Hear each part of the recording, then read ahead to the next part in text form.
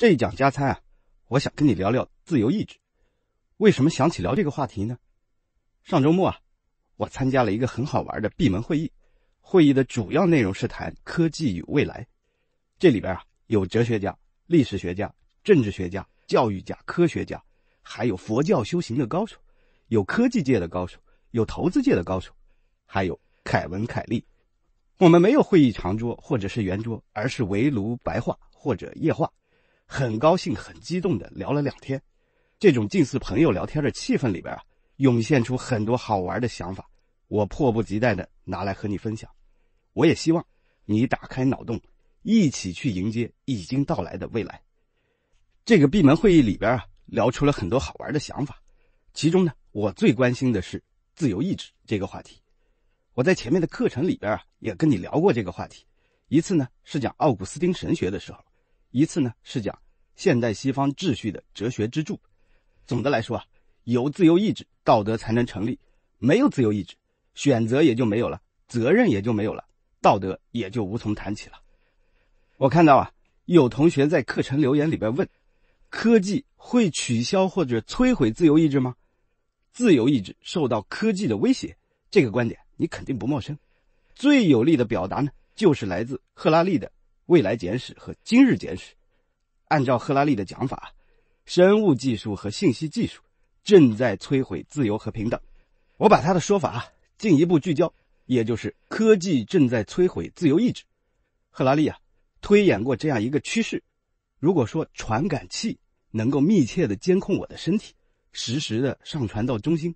中心根据数十亿人的大数据给出了健康建议，我该如何选择呢？如果听从建议呢，那么我对自己身体该怎么办的选择就越来越少，最后呢变成服从 Apple Watch 或者小米手环。不听从建议，不仅对身体没有好处，而且啊很容易被别人看成是愚蠢的。在科技给我越来越多建议的时候，在选择一步步消失的情况下。我的自由意志还存在吗？如果还存在的话，还有用吗？这个推演到这儿还没完，强制会随之而来。先是软强制，也就是商业的，平台能够给出建议，也就能知道我多少次忤逆了他的建议，记录在案。保险公司呢，就可以根据我忤逆的记录，给出商业评估，可能对我这种不听话的人，健康险、寿险。保费就会增加，甚至会被拒保。再进一步，硬强制就会到来，保险公司可以拒保，政府呢可以采取更加强硬的措施，就像汤姆·克鲁斯演的那个少数派报告一样，政府甚至可以提前知道我们怎么想的，对犯罪提前预防。我们啊，已经在他们面前变成了透明人，甚至啊，他们可以说比我们自己更了解自己。他们可以打着为我们好的旗号啊，堂而皇之的说出当年卢梭那句名言：“强迫你自由，服从他们才是自由。自由意志啊，只不过是小孩子一样的无知和任性。”在这次闭门会议上呢，我就把这个问题提出来了，听听各路大神的高见。我们就从凯文·凯利的看法说起。其实啊，他的看法在他的成名作《失控》这本书里边就已经有答案了，但我呢。还是想当场逼他说出来，这一逼问呢，还确实明确了不少。K K 说啊，自由意志并不是人所独有的，世间万事万物都有自由意志，从粒子的衰败到大系统的演化，里边都有自由意志。K K 讲了一个很好玩的故事，有个动物园里边有一只猩猩，它会用手语表达自己，还收养了一只小狗当它的宠物，它当然也有自由意志啊，所以啊。K K 的立场是，自由意志是普遍存在的，要从宇宙学的层次来看这个问题。宇宙万物皆有自由意志，自由意志不是人的专利，不为人所独占。只不过呢，自由意志本身蕴藏着奥妙，就像宇宙的奥妙无穷一样，我们人类还没有完全把它搞清楚。K K 的讲法叫失控，实际上中文把 out of control 翻译成失控，并不恰当。中文词“失控”啊，只表达了 K K 这本书最表面的意思。如果讲失控，我们的思路很容易就被带进谁在控制，谁失去控制，怎么失去控制。但 K K 讲的 “out of control” 更重要、更底层的意思是，科技就像生物一样在演化，不在控制之内。吴伯凡老师说，把书名翻译成“无为”更好，确实啊，更贴近 K K 的意思，而且有中国哲学的味道。但是啊，我觉得“无为”有点太中国了。老子、孔子、韩非子都讲无为，显然和 K K 讲的大演化论这种味道不一样。我觉得这个词儿译成“无从控制”可能更贴切。K K 的演化论可以看作一个隔离墙不断被打破的过程。哥白尼的天文学打破了地球和宇宙之间的隔离墙，从此啊，地球和其他星星之间就没有本质差别了。达尔文的进化论打破了人和动物之间的隔离墙，从此啊。所有物种的生存和灭亡都遵循进化的法则。弗洛伊德呢，打破了理性和欲望之间的隔离墙，从此啊，欲望不是肮脏的邪念，理性呢也不是高贵的心智，他们都是意识，而且混在一起。而我们这一代人开始面对的是人机之间的隔离墙被打破，机器的智能化和人的工程化两路并进，最终啊，实现的是高度的人机合一。宇宙从粒子再到人类社会，再到更高级的系统，都是一个 Vivi system，活力系统。活力系统啊，就是要向前演化的，而这种演化是无从控制的。推演到这一层呢，K K 被我逼问出来的“万物皆有自由意志”就很重要了，因为万物也包括科技嘛。隔离墙被一层层拆除之后，世界自行演化的大格局看得就更清楚了。科技就像矿物、有机物、植物、动物、人类、人造系统一样在演化，所有演化的背后都存在着自由意志，都存在着向更高级的、更复杂的活力系统迈进的动力。我认为，K K 是把自由意志看成了万物演化的内在动力，用来贯穿整个宇宙，从粒子到高科技，生生不息。K K 的回答确实让我很受启发，自由意志。就是一种意志力，一种无从控制的意志力。好，下面我就用 K K 的说法来碰撞一下人类文明几千年来关于自由意志的各种说法。首先是哲学，哲学是对人类自由意志的捍卫。奥古斯丁的神学和康德的哲学都讲，自由意志是人之所以为人的标志，他们代表了古代和现代哲学的高峰，他们赋予了自由意志高大神圣的形象。而这种形象呢，对于人自身是最重要的故事。用康德的套路来讲，我们确实不能证明，也不能证伪自由意志。但是，如果你不承认它，我们就聊不下去了。道德、法律、组织等等，一切必须依靠故事获得的力量，也就是赫拉利所说的“我们的智人祖先干掉尼安德特人的那种力量”，都将烟消云散。我认为啊。哲学对人的自由意志的捍卫，不仅是值得尊敬的，而且是非常必要的。因为哲学对自由意志的高度肯定啊，是人可以认识自己、接受自己、肯定自己的基石。放到 K K 的演化论当中，自由意志就是人和人创造的世界可以生生不息的动力之源。没有它，人这个活力系统就没有活力了。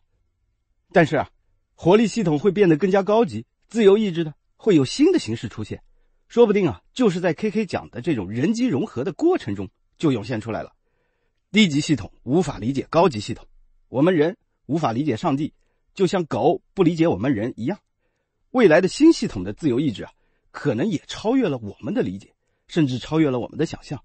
所以啊，我们人要懂得谦卑，要懂得善待那些不如我们的低级系统，而不是滥用自己的活力去控制世界。只有这样呢，即便有一天我们被淘汰了，更高级的系统至少也会承认，我们人的自由意志曾经带来过爱、真诚和善良，而不只是一种只会掠夺的病毒。说完哲学呢，我们再来看看科学，尤其是生命科学对人的自由意志的怀疑。基因决定了选择，而不是自由意志决定了选择，这一点啊，似乎有越来越多的科学证据。所以，王立明老师在《生命科学五十讲》里边说，自由意志可能只是一种幻觉。不过，王立明老师也承认，证明人的选择全部被基因决定，尤其是精准的决定，还为时尚早。而且啊，对于人的好奇心和探索精神来讲，自由意志是必要的前提。最终呢，王老师也给出了康德式的结论：如果还不能完全证明自由意志不存在的话，那还是先承认它存在比较稳妥。我认为啊，生命科学还没有把基因决定论完全坐实，也很可能不会有那一天，因为啊，科学之所以是科学，就是能明辨自己的边界。知道自己能解决什么问题，不能解决什么问题。当一门科学还没有这种自觉的时候，它离成熟还比较远。王立明老师也说过，生命科学至今还没有办法完全回答“生命是什么”这个大问题，需要探索的奥秘啊还很多。更进一层，科学本身只是看待世界的一种方式，选择了特定的角度，配备上相应的技术。就会打开一扇发现秘密的大门。伽利略改进了望远镜，牛顿想出了微积分，大思想和大工具配合在一起，科学就上一个大台阶。但是啊，一个角度看得再深，也不可能把世界看全了。所有科学加起来，也不能穷尽看世界所有的角度。那么同理，生命科学也不能穷尽生命的奥秘。演化。是无从控制的，基因决定论和所有的决定论一样，永远只是局部有效。自由意志的秘密啊，并不是生命科学完全 hold 得住的。最后是 IT 科技对人的自由意志的釜底抽薪，就像我们前面说过的赫拉利的那个推演，随着人机的融合，自由意志还会不会存在呢？我带你做一个思维游戏，让 KK 和赫拉利打一架，KK 的理论。是演化论，演化是连续的，所以啊，他要拆除所有的隔离墙。而赫拉利的理论呢，是革命论，智人、农业社会、工业社会，未来的智神社会，一浪高过一浪，后一种形态自成一套系统，而且会完全干掉前一种。显然啊，自由意志是智人以来的人的核心标志，他在赫拉利的革命论中必然会被更高级的系统摧毁。那么。你会同意 K K 的演化论还是赫拉利的革命论呢？我们在人机融合之中，究竟是被成全还是被摧毁？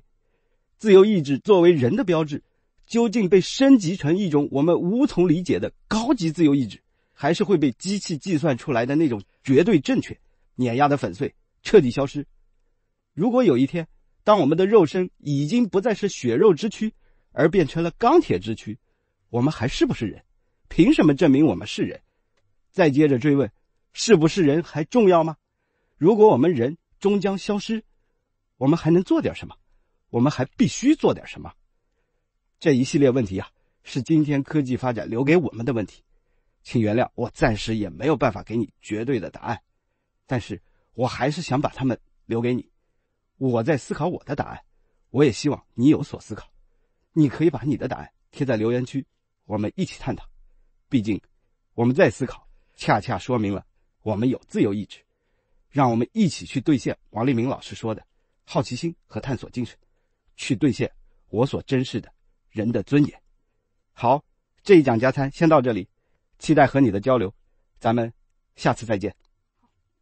西方啊，有很多著名城市，如果只能选一座城市作为西方的代表，你会选谁？纽约、伦敦、巴黎？还是雅典、维也纳、巴塞罗那？我的答案是罗马。我的理由是，罗马它既代表了共和，又代表了帝国，还代表了教会。共和、帝国、教会这三个特质，不就正好构成了西方文明吗？罗马因为有三层不朽的特质，成为真正的永恒之城。这一讲呢，我就跟你聊聊。我理解的三位一体的罗马，第一层特质，共和，罗马为全人类提供了这种优秀的政治框架。现代国家原则上都是共和国，即便保留了世袭君主的国家，实质上离共和也不远。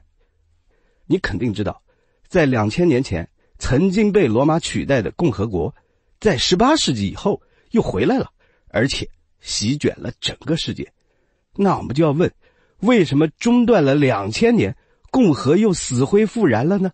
而且成了燎原之势，这个问题的答案要从罗马开始找。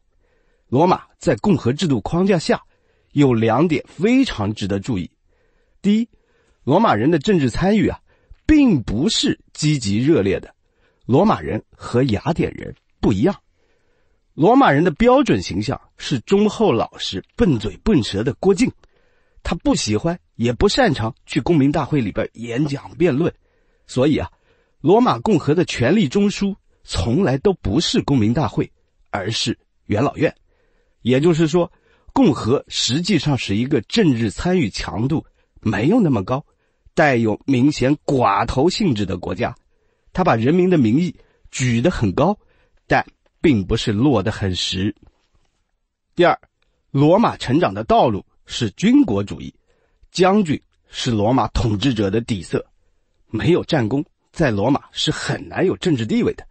一个以战争为荣的国家，光荣、权力、地位。不会属于柔弱之辈。罗马的这种活法呀，强化了元老院处于共和国权力中枢的地位。你可以把元老院就看成军工世家的俱乐部，两个执政官实际上就是这个俱乐部的年度代表。罗马共和的军国主义本色强化了国家的武力属性。上面这两点，明显的寡头性质和军国主义色彩。都是后世国家的标准格式。等到民主大潮袭来，人民的民意无法抗拒了，自然就必须被高高的举起。而现代国家成长的基本逻辑就是战争机器。共和呢，完全兼容国家的武力属性。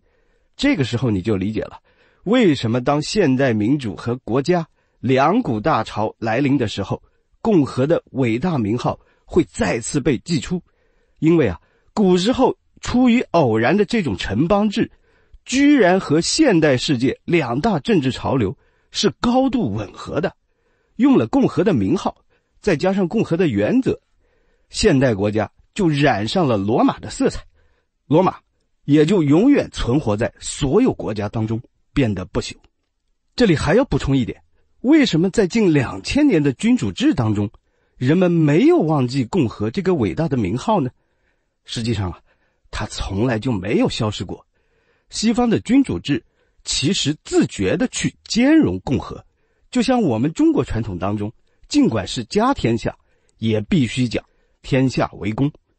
西方的君主制也必须实现公共利益，人民呢也要忠于自己的国家。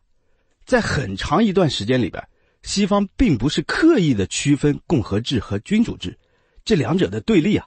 是在启蒙运动里边被制造出来的，被法国大革命撒向了全世界。所以啊，共和并不是必须要通过佛罗伦萨共和国这样的政治实体来体现它的存在，它就活在君主制当中。当君主制被民主制取代，它就走向前台，成了国家的名号，只不过是一个潜水者浮出了水面。好，说完了共和，我们再看看罗马的第二个特质——帝国。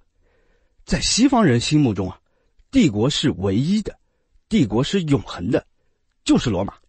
西方人心里的帝国啊，其实和我们中国人心里的天下一样，至大无外，就是大到外边什么都没有了。这下子你就理解了，罗马作为帝国是多大的文化符号了。在中国传统当中，找到和它对应的词，不是长安，也不是北京，而是华夏，或者天下。那你可能会问，帝国不是亡了吗？它怎么还能永恒呢？帝国亡了，其实是我们现代人的看法。在西方啊，西罗马的灭亡并没有成为当事人明确意识到的所谓分水岭。这种标签啊，是后来历史学家标定的。实际上，罗马城在公元四百七十六年之前已经被蛮族攻占了很多次，之后呢，又在蛮族之间易手了很多次。从政治、经济、社会的形态来说，公元四百七十六年只是一个方便的标签，而不是一道隔离墙。在当时和后世的西方人心目当中，帝国没有灭亡。一方面，拜占庭依然健在；另一方面，灭了西罗马的日耳曼人后来成熟了，他们沿用的还是帝国这个伟大的政治想象。你看，神圣罗马帝国这个名号。说明日耳曼人的政治想象力的边界仍然是帝国。而在这样一种世界图景之下，不可改变的中心就是罗马。这里，我给你念一段书信。这封信出自东罗马的大将军贝利萨，他是这样写的：在这片大地上，所有的城市当中，罗马最为伟大，最为非凡。罗马曾出现过历代帝王和无数名士，在历经岁月和财富积累之后，才有了罗马这个宝库。这座城市是世间所有美德的丰碑，毁了罗马，你失去的不是这座城市，而是你自己。保护好它，你将拥有世界上最辉煌的财富。作为东罗马将军，贝利萨本来是想西征收复罗马城的，但是后来呢，他不得不回军保卫东边的君士坦丁堡，把收复了的罗马拱手又让给了东哥特人。当时贝利萨就给东哥特人的首领。写了这封信，据说啊，这封信还真的就达到了保护罗马的效果。在西方啊，对罗马的政治幻想简直成了大人物的心病。拿破仑横扫欧洲，终结了神圣罗马帝国，自己当上了法兰西的皇帝。他给自己唯一的儿子加封的名号还是罗马王。他们想建立千秋大业的时候啊，就会回想起当年的凯撒。屋大维是何等的雄才大略，和我们中国的大人物回想起汉唐雄风是同一种心情吧？对于我们中国人来说，汉亡了，唐亡了，天下没有王；那么对于西方人来说也一样，凯撒亡了，查理曼亡了，帝国没有亡。对于他们来说，帝国是不朽的。罗马的第三个特质是教会。你可能通常不会把罗马和教会联系在一起，但罗马和教会的关系其实非常的密切。教会的历史啊，几乎和基督教的历史一样长。按照我们俗人的算法，共和在罗马存续了七百年，帝国存续了五百年，教会差不多在罗马存续了两千年。尤其是从西罗马灭亡之后，教皇在绝大多数时候。都是罗马城的实际统治者，比统治时间长短更重要的是，罗马城对于基督教意义非凡。罗马城是教皇圣座的所在地，罗马城当然也就是圣城。在基督教世界里边，唯一比它尊贵的城市，恐怕只有耶路撒冷。按照基督教的讲法，无数重大的事件在罗马发生，比如说，基督教的第二创始人保罗在罗马殉难。基督教会的首任教皇彼得在罗马殉难，等等。现实中的教会由教皇统领。西罗马灭亡以后呢，罗马主教担任起整个西方主心骨的角色，集权的速度越来越快。尤其是在格里高利一世和发动教皇革命的格里高利七世手里边，教会的集权一步步上了大台阶，拥有了号令整个基督教世界的大权。他才成了名副其实的教皇，教会也因此率先成为了权力金字塔。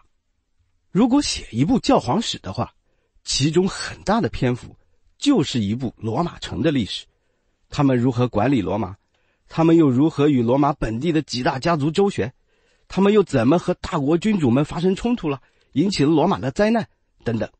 就拿我们现在看得见的罗马城来说吧。现在的罗马城最著名的建筑主要是文艺复兴时代教皇的作品，米开朗基罗的西斯廷天顶画和卡比托利欧广场，拉斐尔的梵蒂冈画室，贝尼尼的喷泉和梵蒂冈的柱廊。